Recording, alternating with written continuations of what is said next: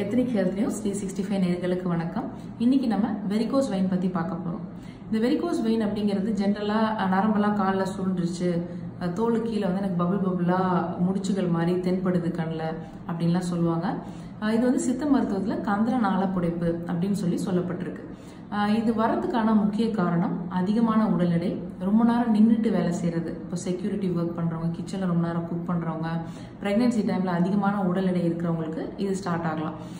இதோட starting symptom அப்படின்னு பார்த்தீங்கன்னா காலையிலேருந்து நல்லா இருக்கும். கால் வந்து ஈவினிங் ஆக ஆக ரொம்ப பாரமாக இருக்கும். இச்சிங் ஸ்டார்ட் ஆகும். அதுக்கப்புறம் வந்துட்டு கால்லாம் குடையிற மாதிரியான வலி ஏற்படும். இப்போ நம்மளோட பிளட் வந்து பார்த்தீங்கன்னா ஹார்ட்லேருந்து ஆர்ட்ரி மூலமாக எல்லா செல்களுக்கும் ஆக்சிஜன் வந்து எடுத்துகிட்டு போகும். அதுக்கப்புறம் deoxygenate carbon dioxide release பண்ணும்போது வெயின் மூலமாக நமக்கு ஹார்ட்டுக்கு வரும். அப்போ டீஆக்சினேட்டட் கெட்ட ரத்தத்தை தூக்கிட்டு போகிற வேலை தான் இந்த வெயின் சரி செய்யுது. ஸோ அதனால தான் இது அதிகமாக டேமேஜ் ஆகுது.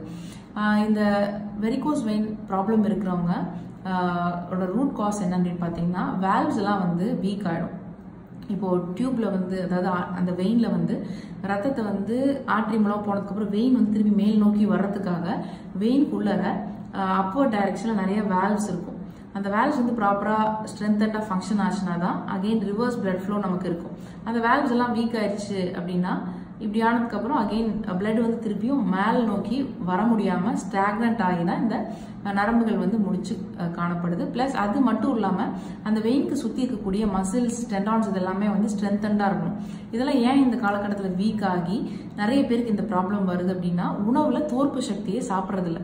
தோற்பான பொருள் சாப்பிட்டாதான் செல்களோட டேமேஜும் ஏற்படாது ஸ்ட்ராங்காகவும் இருக்கும். அந்த காலகட்டத்தில் கட்டடமே வந்து கடுக்காய் தோலெல்லாம் வச்சு தான் கட்டியிருக்காங்க. ஸோ அதனால் ஸ்ட்ராங்காக இருக்குது அப்படிங்கிறதெல்லாம் கூட ரிசர்ச் பண்ணிட்டு இருக்காங்க ஸோ கடுக்காய் அப்படிங்கிறது ரொம்ப ரொம்ப நல்லது.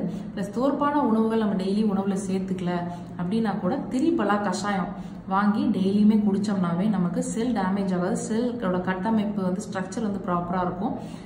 ப்ளஸ் வெரிகோஸ் வெயின்க்குமே வந்து திரிபலா கஷாயம் டெய்லியும் ஒரு ஒரு கிளாஸ் குடித்தாவே போதுமானது. திரிபலா அப்படின்னா கடுக்காய் நெல்லிக்காய் தாண்டிக்காய் இந்த மூணுமே சேர்ந்த ஒரு சூர்ணம். அதை நீங்கள் ஒரு ஸ்பூன் போட்டு தண்ணியில் நல்லா கொதிக்க வச்சு வடித்து அந்த தண்ணி மட்டும் டெய்லி ஒரு ஒரு கிளாஸ் குடிச்சிங்கனாவே போதுமானது.